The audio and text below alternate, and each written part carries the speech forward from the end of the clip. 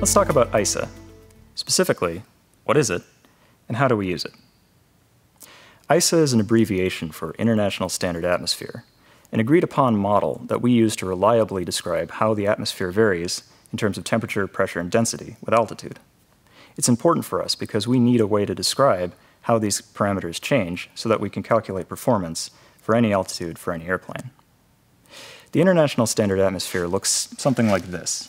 On the x-axis, we have the ratio of value at altitude to value at sea level, and on the y-axis, we have altitude.